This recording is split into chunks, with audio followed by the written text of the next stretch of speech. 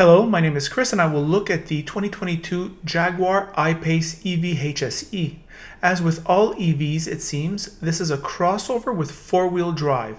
It has a 90 kilowatt hour battery and has a range of 381 kilometers. Power through two motors totals 394 horsepower and 512 pounds of torque. First, this car makes no compromises to rolling resistance with 22 inch wheels. Second, this car makes no compromises, period, to things we have come to expect with electric cars. Many electric cars seem to have the ergonomics made for software developers, not I-Pace. For $100,000, you get a Jaguar with an electric motor and no other fanfare, which is the way I think many people will like. Clearly, electric cars are the future, but many people just love cars the way they are. I-Pace provides this user and styling experience. I must say, it seems these crazy 22 inch wheels are tasteful in this styling. The bigger a vehicle, the bigger the wheels have to be in order for the proportions to be familiar. 20 inch wheels are standard though. The options experience is uniquely low cost. Many options are less than $1,000. Some options are cheeky, such as $250 on a sunshade for the panoramic roof. Others are a bargain, such as $700 for adaptive dampers. Of note, the Jaguar website is well designed for those of you who like to configure. It is an effective retail therapy.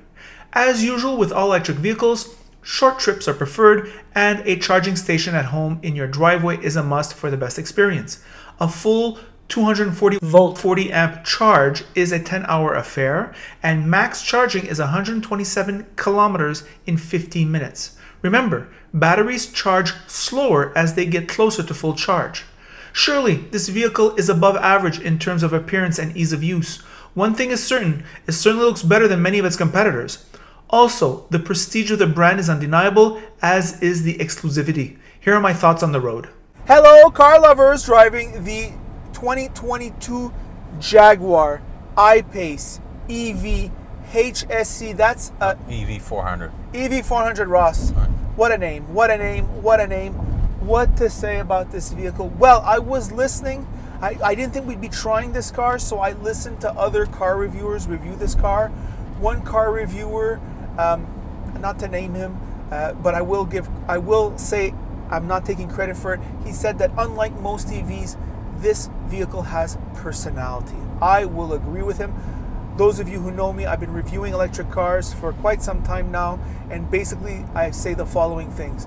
They are wonderful in the city. They can't be your only car. You must own a home, and of course, they have no personality. They are they're all the same. And I have to say from a driving standpoint, they're it's very similar to its competitors. So I'm on the highway now, very, very quiet, super quiet. This is what I want. 22 inch wheels, nuts. I'm gonna flirt right now. That's god damn it, pull it pull it just pulls like nuts, right? You feel the mass. As soon as you start driving hard, you feel the mass. When you're not driving hard, it feels incredibly steady and sure on its feet. A lot of EVs do that. This car is no exception. In fact, it's kind of like it's almost a feeling that's amplified.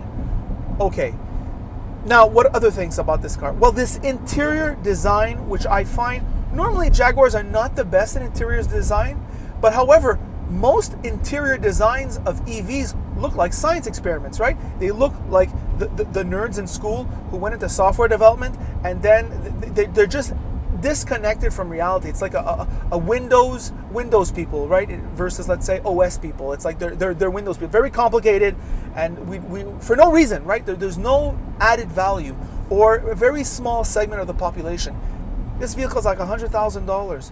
Who's going to buy this vehicle? It's going to be probably somebody like me, except who worked harder, was more intelligent, had more drive, and has the money to afford it, right?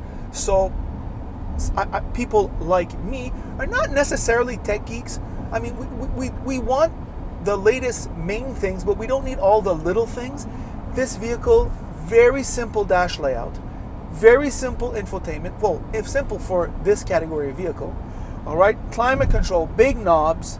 Uh, you know, it, it, it, works. All right, it, it, works surprisingly. I'm not saying it's user friendly, but it's pretty good uh, for the category. Nice leather steering wheel, nice leather seats, nice, uh, comfortable seats. They're ventilated. We have here the Meridian sound system. Sounds great. Sounds wonderful. We have here decent visibility, except the rear view mirror that, that rear view mirror is like squinting to see what's going on in back. It, it's really actually kind of funny. It's, it's a decoration, really, that visibility, more than a real useful thing. So the suspension is pretty good. Not quite 400 kilometers of range, which you're kind of expecting over 400 at this price. I must say, you get the 22 inch wheels, you get this no compromise styling. Uh, you do get decent ground clearance, which is not always the case with these EVs. So you're kind of getting a little bit for that range penalty.